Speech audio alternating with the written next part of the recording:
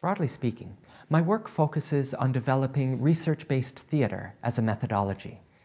That is, examining the possibilities, constraints, and issues encountered when incorporating theater into academic research. This examination has shaped both my research foci and my pedagogy.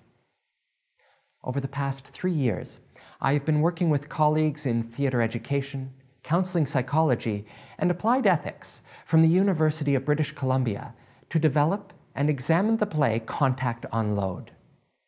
The play shares experiences of veterans transitioning to civilian life while living with stress injuries. The play has been performed for over 1,500 people, including policymakers on Parliament Hill in Ottawa, a command performance for His Royal Highness Prince Harry in London, and, most importantly, for fellow veterans. These performances have shed light onto the challenges and possibilities of transitioning to civilian life and living with stress injuries. The project has also become a site for continuing to inquire into research based theater itself. It is currently being used to examine issues of ethics and how to assess the methodology and other forms of arts based research. I strive to find ways of incorporating theater into my teaching to deepen and enrich student experiences.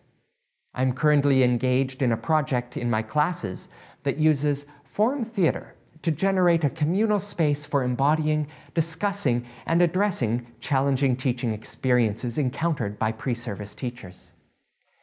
Students use the participatory nature of forum theater to develop their stories into a performance and share them with an audience who is able to provide new insights into the issues raised.